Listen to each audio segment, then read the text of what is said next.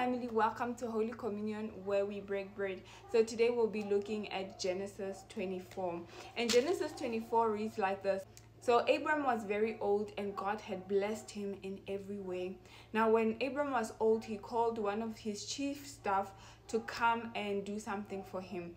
So he said, place your hand under my thigh and promise me that you will not take a wife for my son in this land of Canaan, but you will go to my home country, to my own relatives, and find a wife for my son.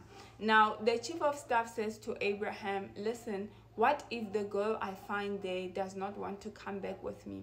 Should I take Isaac to the country where you guys come from?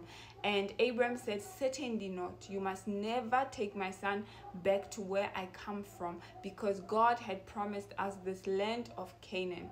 Therefore, just go there. The angel of God will go before you and make your way prosperous.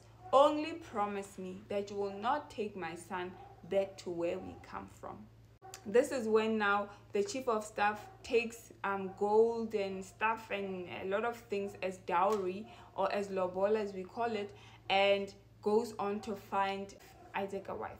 So he goes and he gets to a place where Abraham comes from and he, he stands by the spring. In verse 12, the Bible says, Then he prayed, Lord God of my master Abraham, make me successful today and show kindness to my master Abraham. See, I am standing beside the spring and the daughters of the townspeople are coming to draw water. May it be that when I say to a young woman, Please let down your jar that I may have a drink, and she says, Drink, and I'll water your camels too. Let her be the one you have chosen for your servant Isaac. By this I will know that you have shown kindness to my master. So today's title is How do you know when your prayers are being answered? I want us to speak about this um, servant of Abraham.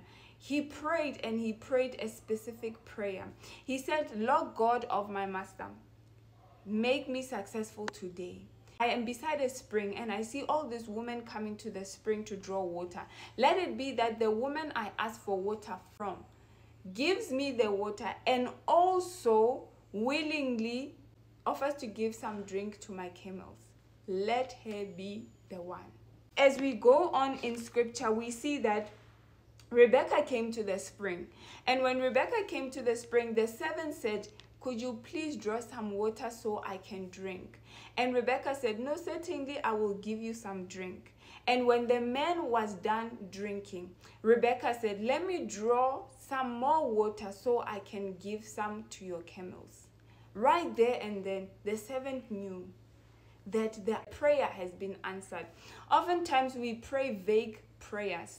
Lord, bless me. Lord, give me money. Always general when we pray. We are not specific. Hence, we even fail to see when God has blessed us because we feel God didn't bless us the way we wanted to be blessed. But we were never specific about how much we want God to bless you with what do you want God to bless you? What kind of job do you want to God to bless you with? You just said, "Oh Lord, please give me a job." What kind of a job are you looking for? And when you get a job to pick up papers on the street, you feel as though God doesn't like you or God didn't bless you. But you were never specific that I want an office job where I work with papers or I work with people. It's important that we pray prayers that are honest we pray specific prayers. Lord, please, please bless me with a house that's a four bedroom house so it can cater for my children.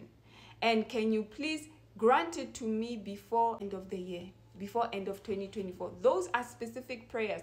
Like the servant, he already knew. As soon as Rebecca said, let me also draw some water so I can give to your camels. Automatically, the, uh, the prayer has been answered. How do you know when your prayer has been answered? It is important that we pray specific, precise prayers. Don't be afraid to pray. Don't be afraid to ask God. Remember, God is sitting in heaven and all things belong to the Lord. The Bible says, The earth is the Lord and the fullness thereof. There's nothing that God does not own. So, God bless you.